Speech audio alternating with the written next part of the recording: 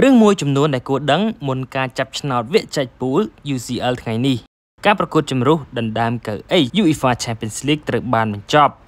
ដោយរកឃើញ32ក្រុមដែលត្រូវចូលរួមការប្រកួតនៃវគ្គចែកពូលក្នុងរដូវកាល2022-2023ហើយការចាប់ឆ្នោតនឹងធ្វើឡើងនៅថ្ងៃប្រហ័សទី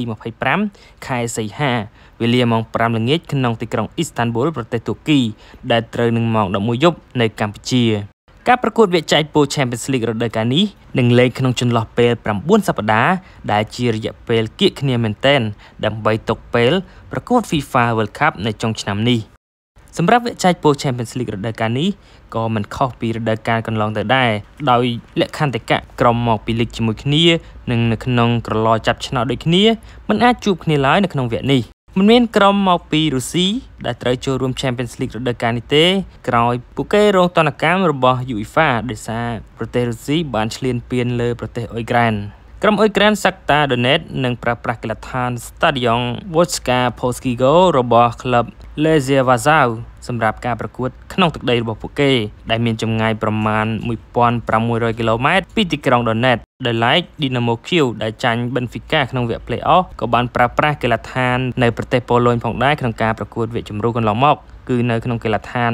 LKS Municipal ការប្រកួតវគ្គចែកពូលសន្សំបន្ទុកនឹងចាប់ផ្ដើមនៅថ្ងៃទី6ខែកញ្ញារហូតដល់ថ្ងៃទី2ខែវិច្ឆិកាពលគឺចន្លោះពេលតែ9សប្តាហ៍ប៉ុណ្ណោះខុសពីសមម្ដង ដែលមានពេលចន្លោះ12សប្តាហ៍ដែលឡែកសម្រាប់វគ្គចាញ់ធ្លាក់ឬក៏វគ្គ knock out ក្នុងវគ្គ16ក្រុមចុងក្រោយធ្វើឡើងចន្លោះពីថ្ងៃទី14ខែកុម្ភៈដល់ថ្ងៃទី15ខែមីនាឆ្នាំ2023ខណៈវគ្គ8ក្រុមចុងក្រោយលេងនៅក្នុងខែមេសាហើយវគ្គ4ក្រុមចុងក្រោយឬវគ្គពាក់កណ្ដាប់ដាច់ប្រត់លេងនៅក្នុងខែឧសភាការប្រកួតផ្ដាច់ព្រាត់នឹងប្រព្រឹត្តទៅនាថ្ងៃទី10ខែមិថុនាឆ្នាំ2023ក្នុងកីឡដ្ឋានអ៊ូតាទឹកអូឡ িম্প ពិកក្នុងទីក្រុងអ៊ីស្តានប៊ុលប្រទេសទួរគី សម្រាប់ក្រុមទាំង32ដែលត្រូវចូលរួមនៅក្នុងវគ្គចែកពូលនេះមានដូចជា នៅក្នុងក្រឡចាប់ឆ្នោតទី1មាន Real Madrid, Eintracht Frankfurt, Manchester City, AC Milan, Bayern Munich, Paris Saint-Germain, Porto និង Ajax ក្រឡចាប់ឆ្នោតទី2មាន Liverpool, Chelsea, Barcelona, Juventus, Atletico Madrid, Sevilla, RB Leipzig និង Tottenham Hotspur ក្រឡចាប់ឆ្នោតទី3មាន Borussia Dortmund, RB Salzburg, Shakhtar Donetsk, Inter Milan, Napoli, Benfica,